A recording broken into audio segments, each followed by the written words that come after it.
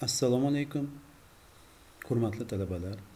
Bugungi bugungi ma'ruzamizni mavzusi teri va teri osti yog' to'qimasining yiringli kasalliklari ma'ruzachi men tibbiyot fanlari nomzodi sherbekov ulug'bek ahrorovich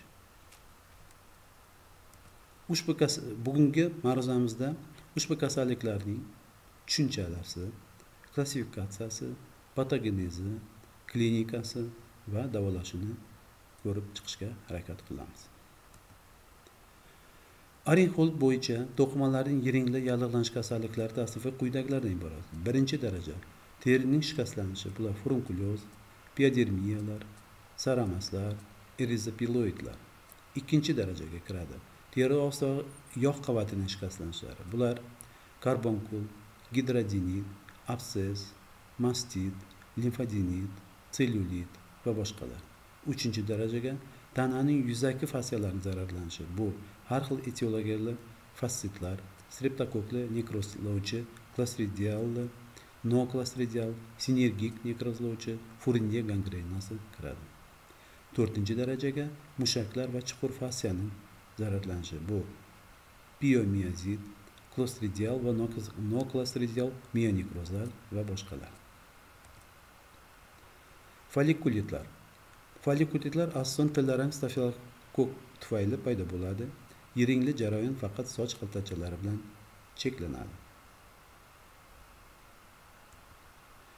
Follikulitni keltirib chiqaruvchi sabablar bu tillarang stafilokokk o'ngda yuqoridagi rasmlarda ko'rsatilgan psevdofollikulitlar zamburug'li follikulitlar bu pterosporum chaqirgan follikulit.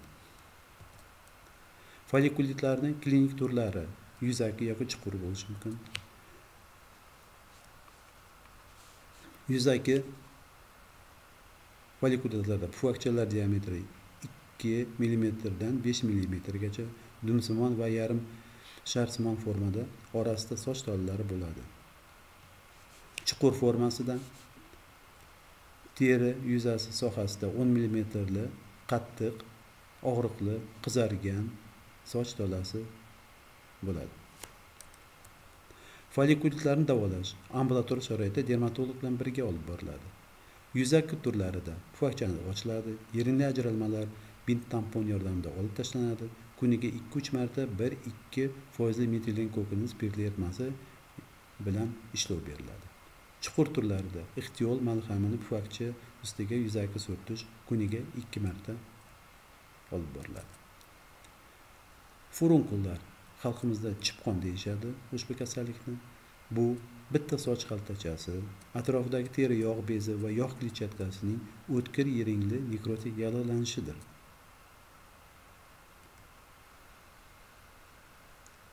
furunkulning etiopatogenezi ko'pincha tillarang stafilokok yoki terida yog' bezlari og'izchalarida bo'lgan boshqa kasallik qo'zg'atuvchi mikroblar tufayli kelib chiqadi. Terining ifloslanishi teri kasalliklari organizmning umumiy zaiflanishi avitaminoz holatlar moddalar almashuvining buzilishi qandli diabet kasalliklarida furunkul chiqishiga imkon beradi. Soch xaltachasiga infeksiya kirishi bilan boshlanadi. Egzogen faktorlarga teri jarohatlari bu yorilish tirnalish dermatitlar chang ko'mir va boshqalar bilan zararlanishlar kiradi.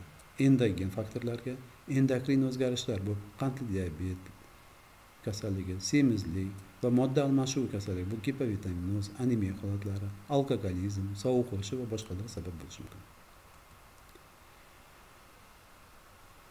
Furunkul yaxshi sifatli yoki yomon sifatli farqlanadi. Yaxshi sifatli tananing pastki qismlarida uchrasa yomon sifatli bosh va bo'yin sohasida uchraydi. Furunkulning klinik belgilari quyidagilardan iborat. Ya'ni furunkul terining xohlagan soch tuklari bor joylarda uchraydi. Yuzda bo'yinni orqa qismida kurakda va belda ko'p uchraydi. Avvalida teri qichisadi keyin og'riq paydo bo'ladi. Soch qaltachasi yoki yog' bezi atrofida qizarish shish paydo bo'ladi. Keyinchalik terining rangi ko'kish qizil tus oladi infiltrat kattalashadi og'riq zo'rayib boradi. Yallig'lanish o'chog'i markazida yiringli pufakcha yuzaga keladi. Yiring tufayli halok bo'lgan to'qimalarda nekrotik o'zak rivojlanadi birinchi haftaning oxirida ichiga yiringning to'plagan pufakcha yoriladi. Yiring u bilan birgalikda nekrotik o'zak ham chiqib ketadi. Shundan so'ng infiltratsiya va shish pasayadi. Asta sekin og'riq ham qoladi. Nekrotik bo'shliq granulyasion to'qima bilan to'lib boradi va bitadi. Ba'zan tana harorati o'ttiz to'qqiz qirq gradusgacha ko'tarilishi mumkin. Yuz bo'yin va uskular sohasida chiqqan furunkul chipqonlar xatarli hisoblanadi. Hisoblanadi chunki yallig'lanish o'chog'ida infeksiya bosh suyagini venoz sinuslariga tarqalib ketishi mumkin. Yuz venalari trombozi miya pardalarining yallig'lanishini keltirishi mumkin. Asoratlari limfadinit flegmoni yiringli artrit sepsis bo'lishi mumkin. Furunkulni davolash quyidagicha. Furunkulni mahalliy davolash uchun to'qimalar o'chog'i atrofi yetmish foizli etil spirti ikki foizli salitsil kislotani spirt eritmasi yoki bir uch foizli metilen kokining spirtli eritmasi bilan yaxshilab artib tozalanadi yallig'lanish bir joydagi sochlar yaxshilab qirib tashlanadi. Ba'zan besh foizli yodning spirtli eritmasini ham ishlatsa bo'ladi. Absesslarni oldini olish uchun ba'zan infiltrat ustiga eritilgan antibiotiklar va yoki antibiotiklar bilan elektroforez bajariladi.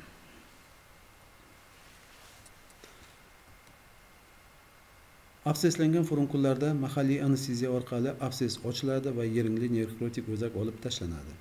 Yeringli nekrotik o'zak olib tashlangandan keyin jarohat antiseptiklar bilan yuviladi. Bu vodorod peroksidi furatilinin birga besh ming nisbatdagi eritmalari va proteolitik fermentlar bilan bog'lama yoki tetratsiklinli eritromitsinli gentamitsinli sintomitsinli marhamlar qo'yiladi.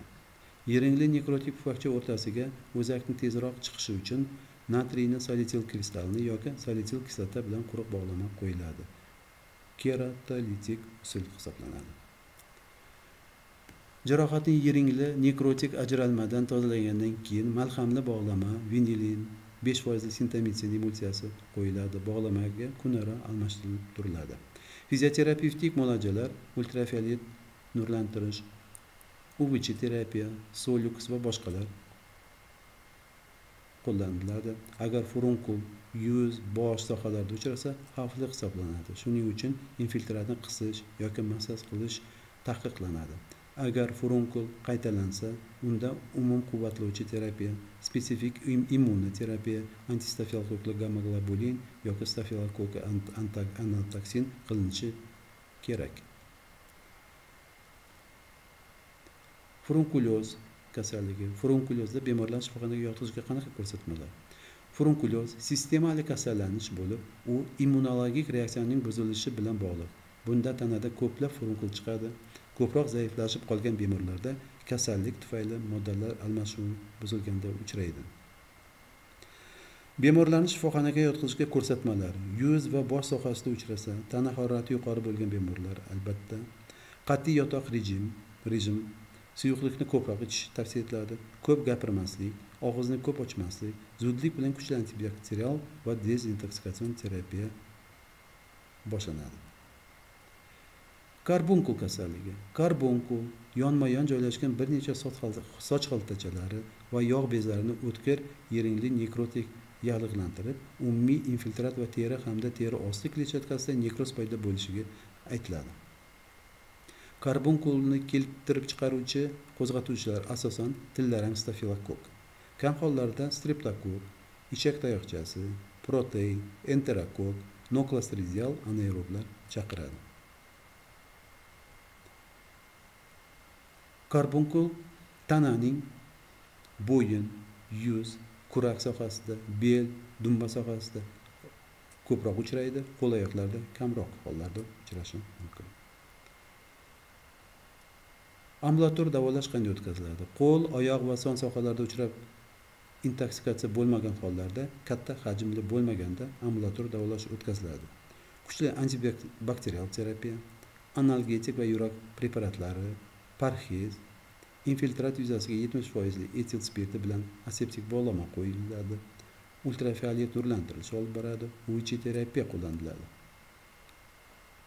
xirurgik davolash operatsiyaga ko'rsatma nekroz o'chog'ini paydo bo'lishi albatta kressimon kesilib o'lgan to'qmalar kesib olinadi agar yerinli nekrotik to'qma atrofida ko'kargan yoki qizargan bo'lsa bunday hollarda krestsimon kesim kengaytiriladi. Yuqorida holat bir necha kundan keyingi holat. Va ushbu jarohatning ikkilamchi bitish natijasi. Abses yoki xo'ppoz kasalligi. Abses lotincha so'zi abses so'zi yiring ma'nosini bildirib to'qima va organlarda chegaralangan yeringda jarayonga aytiladi. Absesni keltirib chiqaruvchi sabablarga kasallik qo'zg'atuvchilari stafilokoklar streptokoklar ichak tayoqchasi proteinlar ko'k yiring tayoqchasi fuzospirillyoz florasi bilan anaerob bakteremiya fridlinder batsillasi chaqiradi. O'pka absesini rivojlanishi sababli virusli bakterial assotsiatsiya hisoblanadi. To'qimalarga ba'zi konsentrlangan kimyoviy moddalarni preparatlarni masalan yigirma besh foizli magneziy eritmasi yuborish ham aseptik nekrozga chaqirib keyinchalik absessga olib kelishi mumkin.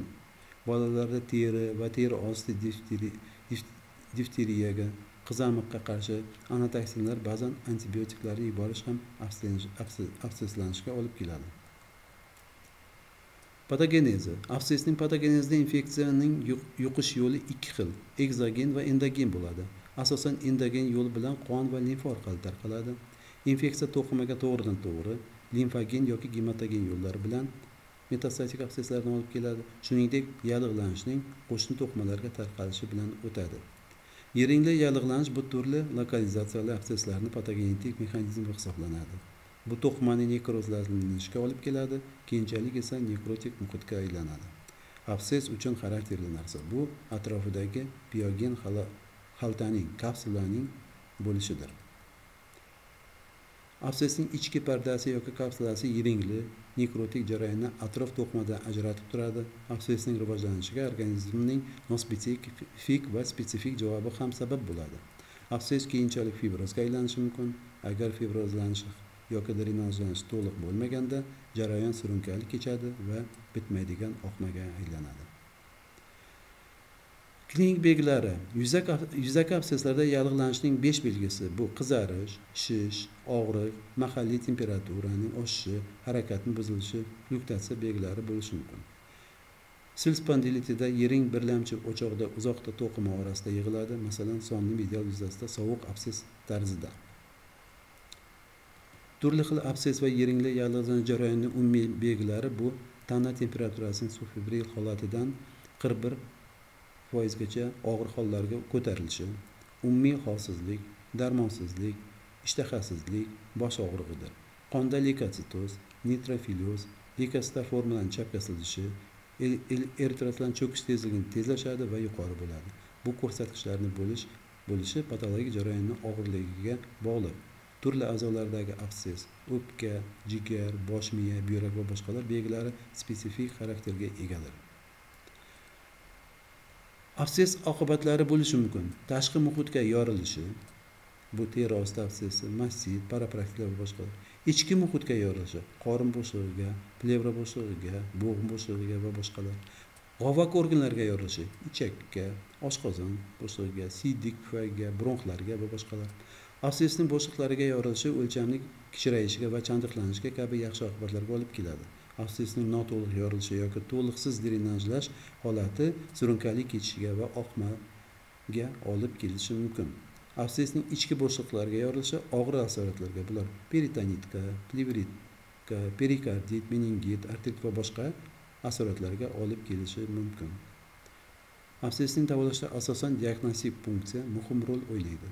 Bu orqali olingan yeringdan bakteriologik tekshiruv va antibiotiklarga sezgirlikni aniqlash mumkin bo'ladi. Absess tashxisi qo'yilsa bu operativ davolanishga ko'rsatma bo'ladi. Maqsad yeringni bo'shliqni ochish va drenajlash hisoblanadi. Yuzaki joylashgan absesslarda davolanish ambulator sharoitda olib borish mumkin. Operativ davo ko'pincha mahalliy og'riqlantirish yoki vena ichi og'riqlantirish ostida olib boriladi.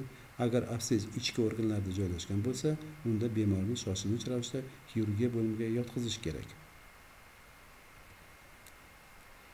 Flegmona.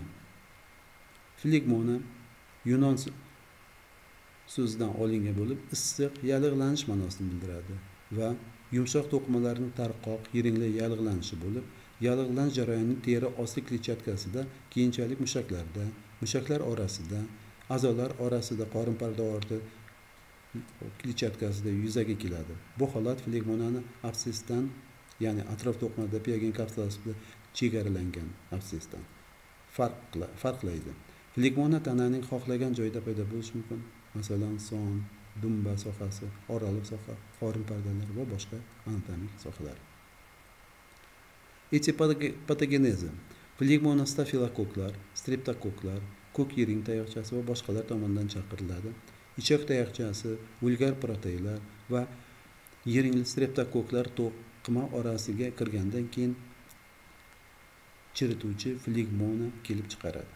To'qimalarga infeksiyaning kirishi jarohatlangan teri va shilliq qavati orqali tushishi mumkin va bu limfogen gematogen yo'llar bilan yallig'langan o'choqlardan bodomsimon bezlarni buyraklarni bachadonni yiringli yallig'lanishlari va boshqalar tarqalishi mumkin. Ba'zan yiringli jarayon yaqin oradagi karbunkul yoki limfodenit orqali tarqalishi ham mumkin. Klinik belgilari kechishi bo'yicha o'tkir va surunkali flegmona bo'ladi. Lokalizatsiya joylashuviga qarab teri osti subfasial mushak orasi organli organlar orasi qorin parda orti chanoq va boshqa ko'rinishlarga bo'linadi. Sirrozli flegmonalarda to'qma rangi xira bo'ladi. Atrofdagi yallig'lanish chegaralari noniq bo'ladi. Jarayon tezlashgandan keyin to'qmalardagi infiltratsiya eksudat yiringli jarayonga aylanadi. Jarayon mushaklar orasidagi paylar orasida va suyaklarda tarqalishi mumkin. Mushaklar rangi xiralashadi. Sariq yashil rangli yiring hosil bo'ladi va qonaydi. Yiringli flegmona yoki chirituvchi flegmona to'qimalar orasida ko'plab o'choqlarni paydo bo'lishi ko'p yiring ajralishi va o'tkir hidli bo'lishi bilan farqlanadi.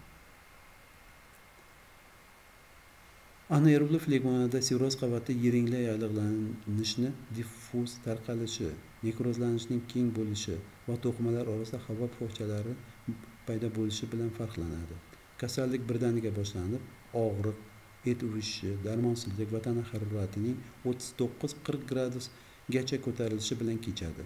Yallig'lanish o'chog'ida shish paydo bo'ladi og'riqli infiltrat hosil bo'ladi harakat pasayadi holsizlik chanqash va qaltirash bo'ladi.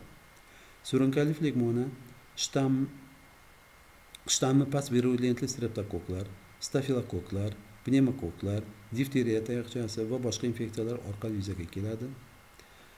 Tashxis qo'yish uchun infiltratni punksiya qilish yoki punksiyani biopsiya olish bilan amalga oshiriladi. Davolash flegmonani asosiy davolash bu operativ usuldir. Konservativ davolash usullari antibiotika terapiya novokainli blokadalar fizioterapevtik davolashlar organizmni umumiy holatini ko'tarish uchun qilinadigan davo muolajalari jarayonning boshlang'ich davrlarida ya'ni infiltrativ bosqichida qilinadi. Agar bu muolajalardan keyin kasallik pasaymasa intoksikatsiya so'rilmasa aksincha yana avj olsa unda shoshilinch operativ davo usuli qo'llash kerak bo'ladi. Tez bajarilgan operativ davo yiringi jarayonda tarqalmasligini va yiringli intoksikatsiyani oldini olgan bo'ladi. Teri osti va subfatsial flegmonalarda operatsiya niqobli ingalyatsion narkoz va vena ichi narkozi ostida bajariladi. Flegmonani ochishda qon tomirlar nervlar butunligini qaratilishiga kerak bo'ladi. Jarohatdan yiringli ajralmani chiqish uchun qulay sharoit hosil qilish kerak bo'ladi. Operativ davo radikal bo'lishi buning uchun bo'shliqni antiseptiklar bilan yuvish mikrozlangan to'qimalardan tozalab turish drenajlarni yaxshilash kerak. Operatsiyadan keyingi davrda keng ta'sir qiluvchi antibakterial terapiya infuzion terapiya immunoterapiya vitamin terapiya muolajalarni olib borish lozim. Gidrodinit gidrodinit gidros ter va aden bez apokrin ter bezlarining o'tkir yiringli yallig'lanishi bo'lib apokrin ter bezlari stafilokoklarning limfogen yo'llari orqali tushishiga kelib chiqadi. Kasallik asosan qo'ltiq osti sohasida ko'krak bezi so'rg'ichi atrofida yorg'oq sohasida ayollarda tashqi jinsiy a'zolari atrofida sohasida anus atrofida sohasida kabi apokrin ter bezlari bor joylarda uchraydi. Keltirib chiqaruvchi sabablar. Tillarang stafilokok chaqiradi. Bunda apokrin ter bor sohalar ter bor sohalarni terisini tirnalishi shaxsiy gigiyenik holatning buzilishi endokrin kasalliklarda qandli diabetlarda va ayollarda ter bezlarining funksiyasini buzilishida kelib chiqadi. Tillarang stafilokoklar apokrin ter bezlariga limfa yo'llari orqali tushganda keyin ham yirilma yayrilanish kelib chiqishi mumkin. Kasallikni boshlang'ich bosqichlarida terida qichishish og'riqli qattiq har xil o'lchamli bo'rtmalar hosil bo'ladi. Bo'rtmalar bo'rtma o'lchami va og'riq kundan kun kattalashib kuchayib boradi. Teri rangi ko'karib qizarib boradi. Bo'rtma o'rtasida yumshoq qaymoqsimon yeringli ajralma chiqadi. Bu jarayon o'n o'n besh kun davom etadi. Gidrogen tuzalishi chandiqlanish bilan tugaydi. Ko'pincha jarayon atrof ter bezlariga tarqalib infiltratni kattalashtiradi. Bu esa og'riqni kuchaytiradi teri rangi ko'karadi va bu jarayon bir necha kunlar davom etadi. Kasallik ba'zi holatlarda tana temperaturasining oshishi bosh og'rig'i va leykotsitoz bilan ham ketishi mumkin. Noto'g'ri davolashni kasallikni qaytalanishiga olib kelishi mumkin. Hozirgi zamonaviy davolanishlar holatida kasallik besh o'n besh kun davomida tuzalib ketishi mumkin. Gidrodinti davosi bo'rtma atrofi teri tuklari birinchi navbatda tozalanishi kerak bo'ladi. O'choq atrofi terisi yuvilmaydi kuniga ikki marta etil spirti bilan artib turiladi. Jarayon ustiga ixtiyol malhami qo'yishi mumkin bo'ladi. Gidrodinit ochilgandan keyin bo'shliq gipertonik va antiseptik eritmalar yuvib turiladi. Turli joylarda uchraydigan gidrolinitlarni boshlang'ich davrlarda antibakterial terapiya boshlash kerak bo'ladi. Gidrodinit profilaktikasi bu shaxsiy gigiyenik holatga e'tibor berishdir. Qo'ltiq va chov sohalari tuklarini tozalagandan keyin antiseptiklar bilan ishlov berish kerak. Ko'p terlash gipergidroz bo'lsa ham uni sababini endokrin sistemasi funksiyasini buzilishi va nerv sistema funksiyasini buzilishi aniqlash va davolash kerak bo'ladi. Bu holat giper gipertroz ya'ni parkinsionizmda gipertireoz ya'ni parkinsionizmda tuberkulyozda ganglionitda diensefalitda siringamidiyada klimakterik davrda kuzatilishi mumkin. Gipergidrozda qo'ltiq sohasida pufakchalar paydo bo'lishi mumkin. Bu teri qishishiga olib keladi va bemor tomonidan tirnalishga keyinchalik esa pufakchalar yorilib apokrin teri bezlariga infeksiya kirishi uchun darvoza bo'lishi mumkin. Buning uchun gidrogenitni oldini olish har xil antiseptik kukunlar antiseptik eritmalar bilan artib turish lozim. Gidrogenitni davolash uchun antibiotiklar va sulfanilamidlar ishlatiladi. Immun sistemani oshirish maqsadida stafilokokli anotoksin qilinadi. Qo'ltiq sohasini tuklari tozalagandan keyin adikolon konseptik antiseptik antiseptiklar ishlatiladi. Fizikaga davolash uchun uvch toklar ultrafioletli nurlanishlar ishlatiladi. Abseslangan gidrodinitlarda xirurgik davolash absesni ochish va yiringni chiqarish kerak bo'ladi. Uzoq vaqt noto'g'ri davolanish sepsis holatiga olib kelishi mumkin. Limfadinit va uning etiologi limfadinit bu limfa to'g'inlarining o'tkir yiringda yallig'lanishi bu turli xil yiring yallig'lanishi asoratiga olib kelib chiqadi. Tillarang stafilokoklar chaqiradi infeksiya o'tkir va surunkali yiringlar yallig'lanishlardan flegmona xasma va limfa tugunlariga limfa va qon orqali o'tadi. Limfadin yiringli va yiringsiz bo'lishi mumkin. Klinik kechishi bo'yicha o'tkir va surunkali bo'ladi. O'tkir limfadenit birdaniga boshlanib limfa tugunlarining kattalashishi og'riqli bo'lishi holsizlik bosh og'rig'i va tana temperaturani oshishi bilan kechadi. Bu jarayon limfangit bilan birga kechadi. Yiringsiz gidrodinitda bemorning umumiy holati o'zgarmagan bo'lib tugunlar kattalashgan qattiqlashgan palpatsiya va harakati og'riqli bo'ladi teri rangi o'zgarmagan. Yiringli gidrodinitda og'riq doimiy pulsatsiyasimon limfa tugunlari atrof to'qmalar bilan zichlashadi va harakatsiz bo'ladi. Yiringli holat chuqur joylashganligi sababli sepsisga olib kelishi mumkin. Davosi kasallikni davolash bosqichlariga bog'liq bo'ladi bemorni shifoxonaga yotqiziladi boshlang'ich bosqichlarda ya'ni infiltrativ bosqichida konservativ davolash ya'ni yotoq rejim fizioterapevtik muolajalari qilinishi yallig'lanishga qarshi preparatlar qo'llanishi kerak. Mahalliy sovuq holatni ishlatilishi yaxshi natija beradi antibiotik ishlatilishi ham mumkin. Limfodinitning yiringli formalarida faqat xirurgik davo ya'ni ya'ni absesni ochish va drenajlash kerak. Keyinchalik davo muolajalari yiringli jarohatni davolash prinsiplari bilan bir xil olib boriladi. Limfangit. Limfa tomirlarining ikkilamchi spetsifik turli xil yallig'lanish kasalliklari oqibatida kelib chiqadi. Tillarang stafilokoklar chaqiradi. Birlamchi o'choq ifloslangan jarohatlar tirnalishlar absesslar flegmonalar panaritlar va boshqalar yiringli yallanish bo'lishi mumkin. Ko'pincha limfangit qo'l va oyoqlarning yiringli yallanish kasalliklari oqibatida kelib chiqishi mumkin. Limfangit ikki xil o'tkir va surunkali bo'lishi mumkin. Limfa tomirlari katta kichikligiga qarab yuzaki va chuqur bo'lishi mumkin. Agar yiringli yallig'lanish limfa stvoli atrofida bo'lsa unda perilimfangit deyiladi. Klinik belgilari va davosi. Yuzaki limfangitlarda saramas terida saramasga o'xshagan notekis qizarish kuzatiladi. Teri qichishadi achishadi va kuchsiz isitma chiqadi. Qizarish joyida terida to'rsimon rasm paydo bo'ladi. Chuqur limfangitlarda terida ingichka qizil yo'llar paydo bo'lib ular dastlabki o'choqdan regional limfa tugunlariga cho'zilib boradi. Og'riq kuchayadi shishkatalashadi umumiy holsizlik tana haroratining oshishi tez charchash va ko'p terlash kuzatiladi. Davolashda avval dastlabki o'choqni bartaraf qilishga qaratilgan bo'lishi kerak. Bemor shifoxonada davolanishi antibiotik terapiya yallig'lanishga qarshi antigistaminoterapiya va boshqa sovuq kompresslar qo'yiladi. Saramas terining kamroq shilliq pardalarini kuchayib boruvchi o'tkir yallig'lanishdir chaqiruvchisi streptokok a hisoblanadi. Terining ifloslanishi va kichik jarohatlar kasallik avj olishiga qulay omil bo'ladi.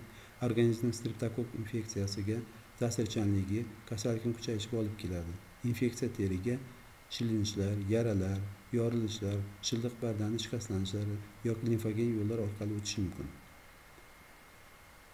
Klassifikatsiyasi klinik ketishiga qarab saramaslar eritematoz erizipiloz eritematozus bulyoz erizipiloz bulyozum flegmanoz erizipiloz flegmanozum va nekrotik gangrenoz erizopioz gangrenozim ko'rinishlarda kechadi intoksikatsiyaning darajasiga qarab saramaslar birinchi daraja yengil ikkinchi daraja o'rta og'irlikda uchinchi daraja og'irlarga bo'linadi kechishiga qarab davomiyligiga qarab farqlanadi birlamchi ikkilamchi ikki yildan keyingi ham bo'ladi va retsidiv ya'ni qaytalangan tarqalishiga qarab chegaralangan tarqalgan va metastatik ko'rinishlarga farqlanadi. Saramas chaqiruvchisi a gruppaga kiruvchi beta gemolitik streptokok bo'lib fakultativ anaerob hisoblanadi. Chaqiruvchi ellik olti gradus ta'sirida bir yarim soat ichida o'ladi. Patogenezi bo'yicha infeksiya teriga to'g'ridan to'g'ri ochiq darvozalardan jarohatlardan yoriqlar yorilishlardan yaralardan shilingan joylardan shilliq pardalarning shikastlanishidan rivojlanadi.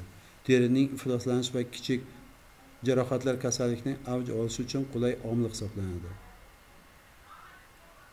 Organizm streptokok infeksiyasiga ta'sirchanligi yuqoriligi bo'lgan ajralib tursa saramas qaytalanadi. Buning ustiga ushbu jarayon ko'pincha bir yerda o'sha avval chiqqan joyda paydo bo'ladi. Organizm stretokok infeksiyasiga ta'sirchanligi yuqoriligi bilan ajralib tursa saramas qaytalaniladi. Buning ustiga ushbu jarayon ko'pincha bir yerda o'sha avval chiqqan joyda paydo bo'ladi. Saramas infeksion allergik qaytalanuvchi kasallik hisoblanadi. Patogenezda a gruppaga kiruvchi beta gemolitik streptokok bo'lib fakultativ anaerob hisoblanadi. Klinikasi kasallik o'tkir boshlanadi tana temperaturasi o'ttiz sakkiz o'ttiz to'qqiz gradusgacha ko'tariladi ko'p o'tmay zararlangan sohada yallig'lanish belgilari namoyon bo'ladi. Ko'pincha yuzda va oyoq qo'llarda uchraydi dastlabki bemorda o'sha sohada terining qichishi og'riq keyinchalik esa shish va qizarish aniqlanadi.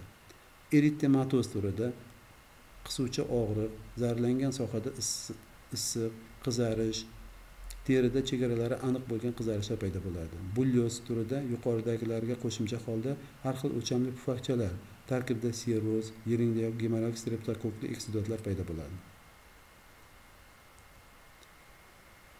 Klinikasi flegmonoz turida. Bunda mahalliy simptomlarga ko'ra umumiy simptomlar kuchayadi bemorning umumiy holati og'ir bo'ladi taxikardiya yuqori temperatura qaltirash umumiy holsizlik kuzatiladi. Nekrotik turida terida qizargan pufakchalar joyida har xil o'lchamli qoraygan og'riqsiz nekrozlar paydo bo'ladi. Kasallikni o'tkir intoksikatsiya belgilari bilan boshlanishiga qarab asosan yuz va tananing pastki qismlarida joylashganligiga qarab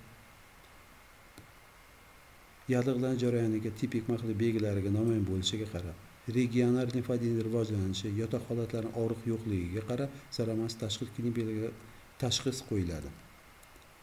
Davolash kasallikni davolash kasalliklarning klinik turlariga qarab zaharlanish darajasiga qarab zararlanish hajmiga qarab va asoratlarga qarab belgilanadi.